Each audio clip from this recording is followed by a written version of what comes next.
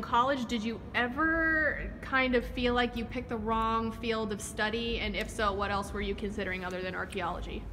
Um, I didn't really feel that way. I, I, I felt really, looking back, I feel really happy that I went to a liberal arts school where I could study lots of different things. Um, I thought about maybe going to like just a theater school, and I'm really glad I didn't do that. Yeah. Um, because I don't think I would have been exposed to history and archaeology the same way. I know I wouldn't have been. So no, I, I, I was doing a lot of theater stuff, and the archaeology degree at Tufts was very interdisciplinary. So taking history classes and classics, and you know, geology, all sorts of you know kind of related things. And so no, I felt like I was getting a good um, view of everything. But I know that's a stressful question for people. People are often freaked out by like, am I studying the right thing, and should I do something else? I think you do what you're interested in. It doesn't necessarily mean that's the thing you're going to end up doing.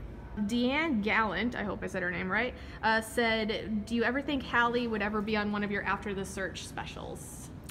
Uh, I would love that. Uh, I have to convince her to do it.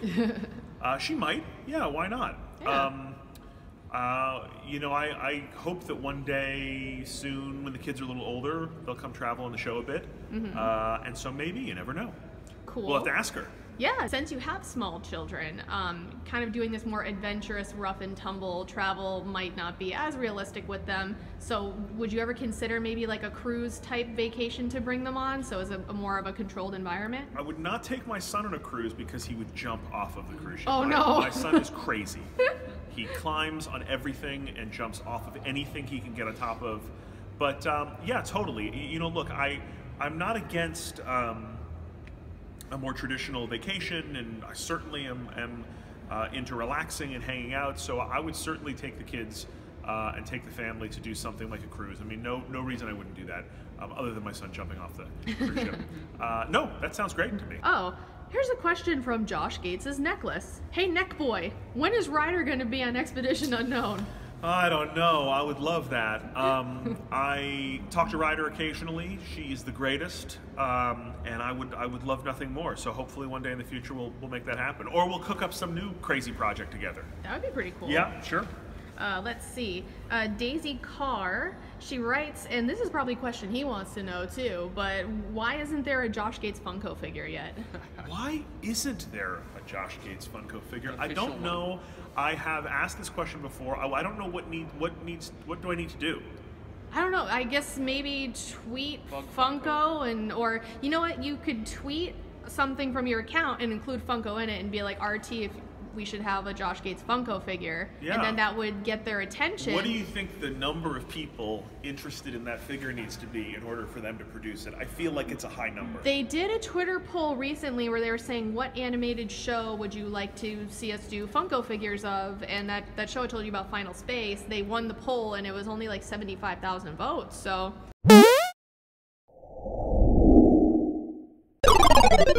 I'm all for it. I'm in support of it. I feel like we would need a real groundswell of support to make it happen. Now I have to think. All right, let's do it. Um, this is a really good question uh, from a fan named uh, River Nuri.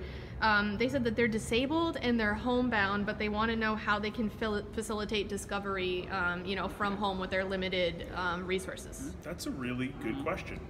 Uh, I mean, I think that if you are truly homebound, um, then you're, you know, then it's through the consumption of media and through books uh, and through photography uh, and other and other forms. You know, it, th- there are books that I have read that are as good as any trip that I've taken. You know, so Yeah. um, certainly. Uh, there are some incredible travel writers out there who can really transport you to uh, other parts of the world. And I think in terms of if you're not completely homebound and able to able to get out to some extent, then I'm sure there are opportunities out there um, to to be accommodated to some extent to have an adventure. Um, I'm not totally sure what those are. Uh, it's not a world that I know all that much about, but uh, it's a great question and it's an important question because I really do believe that everybody should experience uh, travel and adventure and other cultures. I think it's important. I think it's more than just fun. I think it's something that people need to be exposed to, um, and that's something that you know maybe like a lot of people, I, I don't know enough about. So, a great question, something to think on. I feel like virtual reality opens up that field a lot Sure. too, for sure. Absolutely. A, a couple more simple questions. Do we have an air date for Hmm. Expedition Unknown yet? We don't. Or a have an air ballpark. There's been a lot of discussion about this. So our fifth season uh, is set to air on Discovery, uh, and it was originally going to air in January, and uh, and that's not going to happen now. Uh, but it is going to air soon. So we're we're working on. Um, uh, a couple of different dates. April's been thrown around as a, as a possibility. Cool. Um, so as soon as I know, I will shoot it up in fireworks. Cool, perfect. Soon though. And this is the last question. So you were amazing. You met every single fan who waited for you today. Um, it was a really long line. so kind of reflecting on you know the 10th anniversary of our fan site um, and how your fan base has grown. How does that make you feel personally to to know that you have like this this groundswell behind you of, of different generations of people who follow you? It, it's really weird and gratifying. Yeah. You know, it's I can't believe anybody lines up to come and say hi to me. I, I mean that, and I, and people come to me and say, um, like people in their early twenties come to come to me and say, I've been watching you since I was a kid, which makes me feel so old. But also, I forget sometimes that that between the, the different series that they've been on for quite a while now, and so um, to kind of think that there are people who the show was meaningful enough for them or fun enough for them that they tuned in over the years is just really gratifying. And then you get people who uh, come here with their kids, and their kids are big fans of the show, and their kids are getting excited about travel and exploration.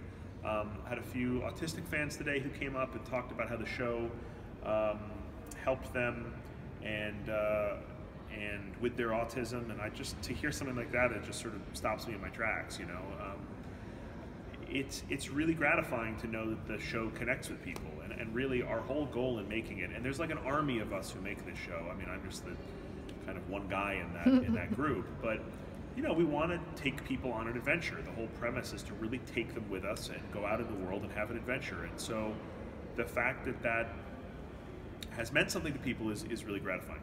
Yeah. Cool. Yeah. Awesome. Well, thank you so much. Of course, thank you. Enjoy thank San you Diego. For all the hard work on the fan site over the years and connecting all the many people who uh, who have tuned into the show, and, and that means a lot, really. You're welcome. Thanks for introducing me to this guy. Yeah, That's my husband, by the way. Matchmaker. yeah, matchmaker. It's just That'll be one of the new one of the new TV things- show. one of the many things I do. I'm a professional Dude, that would be something funny with Ryder. Like, oh, matchmaker. ooh, patent pending, patent pending, patent pending. What? Anyway, You sorry. heard it here. Yeah, there you go. He's like, what? I'm just eating candy. I'm good. Mm-hmm. All right. Anyway, thank you very much. Bye. Here we go. Hi, Josh Gates. Hi, how are you? Good. How are you doing? I'm good, and I'm eating a Crunchie, Crunchie bar. bar. This is the greatest candy bar ever made.